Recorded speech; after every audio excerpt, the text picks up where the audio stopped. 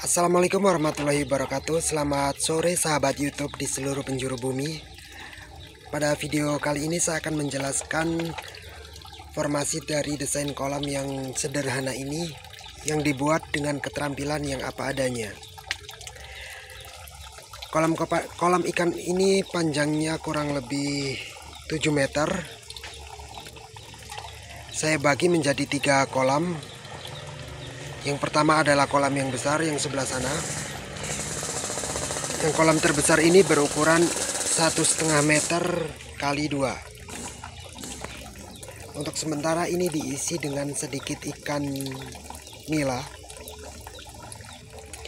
Saya memilih ikan nila karena ikan nila ini sangat mudah sekali dalam proses perkembangbiakannya dan cara untuk budidaya supaya bertambah banyak itu mudah kalau ikan nila ini. Lalu dari desain kolam yang selanjutnya ini saya bagi menjadi dua. Di sebelah sampingnya ini ada ukuran kurang lebih 70 cm kali satu setengah meter pada bagian sini rencananya nanti akan dijadikan sebagai tempat untuk anakan uh, untuk indukan yang memang nantinya sudah bertelur. Apabila ada nanti ikan yang bertelur dari sana maka akan saya pindahkan kepada bagian kolam yang tengah ini. Seperti ini ukurannya. Warnanya warna airnya ini hijau. Ini hijau ini bukan hijau memakai zat pewarna tetapi ini adalah hijau alami dari lumut.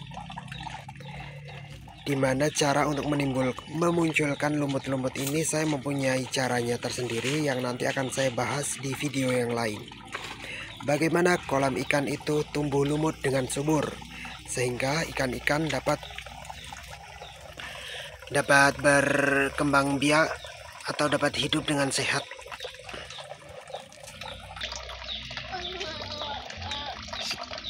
Setelah dari kolam yang paling besar ini mengarah ke samping kiri kolam yang kecil yang mana ditujukan nanti apabila ada indukan kolam yang sudah bertelur maka akan saya pindahkan di sini.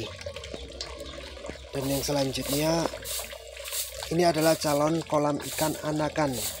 Apabila nanti ada ikan yang sudah menetas dari kolam ini maka akan saya pindahkan anakannya nanti di sini.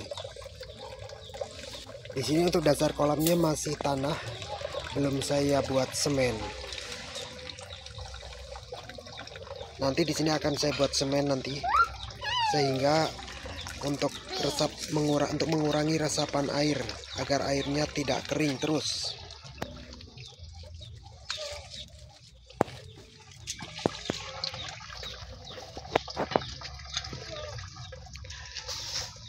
Nah, untuk masalah pengairan ini menyatu dari kolam yang besar sana menyatu dia dengan paralon yang kecil sebelah sini.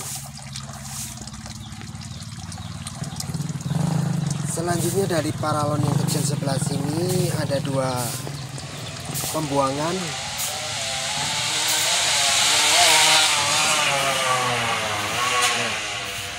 ada dua pembuangan yang sebelah kanan ini untuk mengarah ke kolam kecil yang selanjutnya ini adalah mengarah ke bagian untuk membuang airnya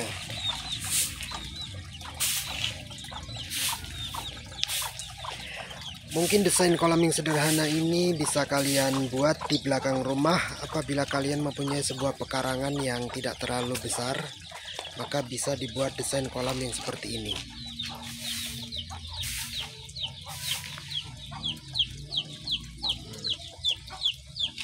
Baiklah sahabat YouTube, saya kira itu saja yang informasi yang dapat saya bagikan pada kesempatan kali ini.